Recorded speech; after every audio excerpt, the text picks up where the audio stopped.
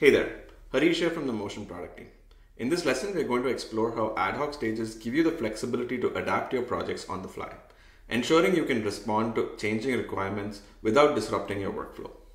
Projects sometimes don't follow a perfect linear path from start to finish. New requirements emerge, new review cycles may be necessary, and unexpected steps may need to be added.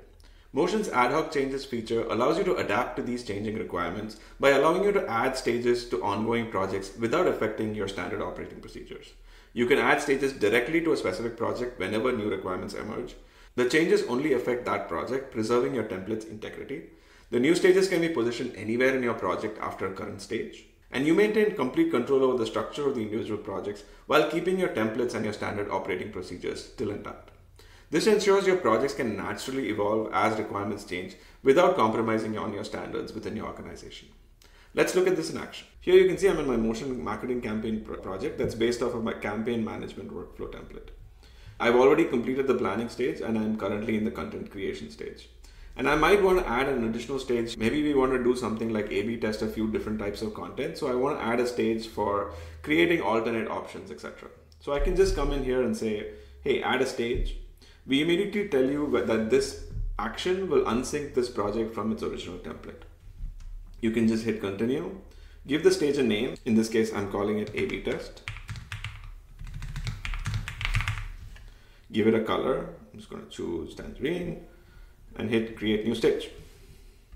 You can see it immediately adds the stage right in line and allows you to add tasks to it. The dates for the project have also been amended to account for the new states that you've added. I can then come in here and add tasks to it. I can say create alternate content options for A-B testing.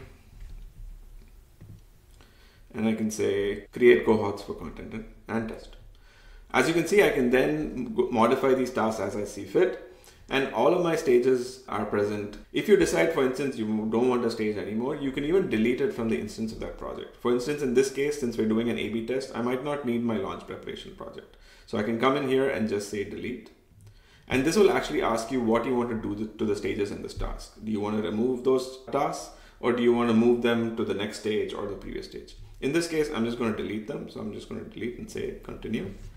And that stage is now removed and your project can continue as needed. Now let's look at what we've covered. We've covered how ad hoc stages provide the flexibility to adapt to emerging requirements without restructuring templates, how you can maintain project-specific customizations while preserving standard workflows across your organization, and how it gives you control over individual project evolution without compromising on organizational standards.